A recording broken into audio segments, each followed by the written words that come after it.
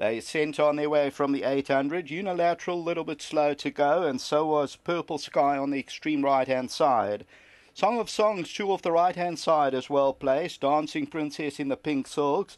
Buckleberry is over on the inside, also showing good early toe in the all orange. And Petra in the middle of your picture, and the red sleeves of Little Winter as well positioned. At this stage, Victorious Man, the orange with the black cap, is about a length and a half off them. As they come to the last 300 metres, John Snow is also moving up nicely down the extreme left hand side. But Little Winter takes it up with the red sleeves and Petra. These are the two. Petra, the black cap, and Little Winter. They go eyeball to eyeball over the last 100 metres. Little Winter and Petra. Petra just gets that. And Little Winter second, staying on, was Victorious Man. There's a lot of them involved there. Dancing Princess, John Snow. We'll take you through that slow mo shortly.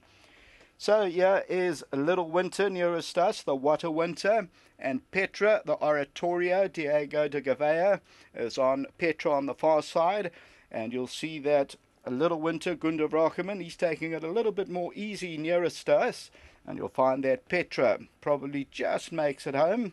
So Petra will just make it home, and that is number six. So Petra is the Oratorio from the Robbie Hill yard, then Little Winter, the Water Winter from the Louis Huerson yard, and then it's about seven or eight lengths back, and then it's number 10, and that's Victorious Man, the Judpot for Paul Lafferty, then Dancing Princess, and that is the Gimme the Green Light Yogus Governor, and then Song of Songs, the King of Kings, that's from Doug Campbell, and then Unilateral was slow to go, that's the lateral, also for Louis Huerson.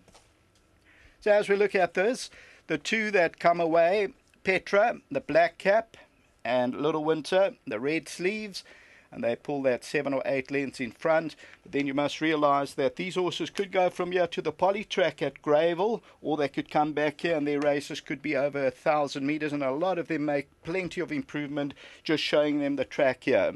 Next up, we move to the racing officially, and it's the first race at 12:30, and that's over 1,000 meters. Our bipot starts off in the second race and then the place accumulator in the third. The pick six starts off in the fourth. There's a carryover of 277,000. The estimate is 1.3 million, and the jackpot race five.